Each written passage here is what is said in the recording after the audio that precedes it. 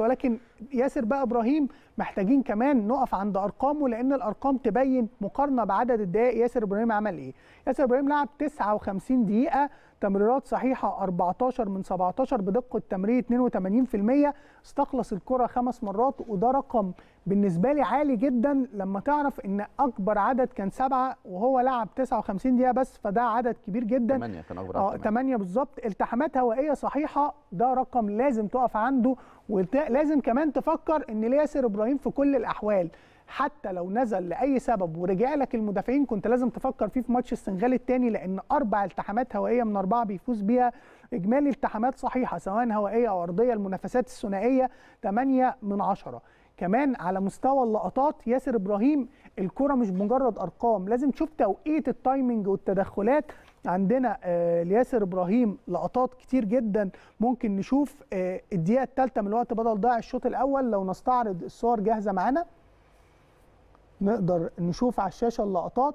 بنشوف ياسر إبراهيم ال timing في التدخل والذكاء في التدخل وكل ده يا جماعة فكرة انت بتنزل إمتى؟ توجيه الكورة. أنا بكلمكم عن مدافع أساسي في منتخب مالي في مباراة صعبة زي تونس. كان الفرق إيه؟ دي لقطة أخرى يا أسامة ال tackling والتدخل لكن أنا عايز أتكلم عن فكرة سرعة القرار آه، في في اللقطات دي. ياسر إبراهيم ما بيستناش فكرة إن العب ألعب على تسلل. لا ده ممكن يكون متسلل. اللقطة الأولى كان واخد قرار. أنا هطلع الكرة بعد كده نتعامل مع التحكيم يكون الكرة تسلل أو مش تسلل. وده طبعا كان بالنسبة لي هدف مؤكد ولكن التحامات أرضية لياسر إبراهيم مع التحامات هوائية كانت في توقيت مميز جدا. ياسر قدم مباراة كبيرة ده طبعا اللقطة يعني فرصة محققة.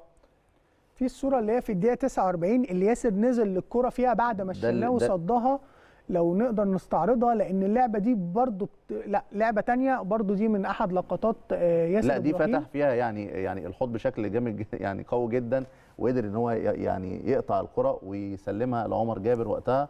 فكان واضح إن هو مركز بشكل كبير جدا في المباراة. وعشان كده قلت ياسر من ال- اللاعبين اللي بيكون مجهز نفسه بشكل كبير جدا للدفع بيه في أي وقت من وقت المباراة. وطبعا كان للأمانة يعني عندنا الونش مقدم مستويات متميزة الفترة الأخيرة أيضا وقدم أرقام مهمة جدا وأكيد غيابه يعني هنفتقده بشكل كبير في مباراة السنغال لكن إن شاء الله قادرين الموجودين يعوضوا غيابه لكن الإنذار كان إنذار مجاني هو الحقيقة الكرة ما كانتش فعلا فاول والونش لعب على الكرة والإنذار اتخذ على فكرة النرفزة والعصبية. وأنا كنت بكلم حمدي فتحي الأسبوع اللي فات في القصة دي فبكلم لاعبي منتخب مصر. يا جماعة بكلم كل لاعبي منتخب مصر اللي بيشاركوا أمام تحكيم أفريقي. أرجوكم ما تاخدوش انذارات مجانية. يعني شايفين مستوى التحكيم الأفريقي عامل إزاي؟ فكمان إن أنا أفتقدك في مباراة حاسمة زي دي أعتقد الأمر كان صعب جدا. إديني إحصائيات الونش. 97 دقيقة الونش. تم تمريرات صحيحة. 24 27 تمرير صحيح من 34 دقة تمريرات 79 استخلاص الكرة 8 هو الأعلى مع حمدي فتحي. التحامات هوائية 5 من 6 إجمالي الالتحامات الصحيحة 9 من 12 الونش آه، لاعب مميز. وأنا عايز أقول حاجة الونش من اللاعبين اللي أنا على المستوى الشخصي بحبهم جدا بعيدا عن فنيا. أنا بحب في الونش شخصيته. هادئ مفيش كلام كتير ولاعب قليل الصخب حواليه. أتحدى إن أنت ممكن في مرة تكون اتكلمت على الونش بشكل سلبي أو في صراع أو في تصريح أو في حاجة الونش مركز في الكورة بس وعشان كده هو من اللاعبين اللي يستحقوا أيضا الإشادة زي كتير جدا من لاعبي منتخب مصر اللي نتمنى إن شاء الله بإذن الله يقدموا مباراة مهمة جدا وقوية جدا في دكار وإبداع بعض اللاعبين لم ينتهي.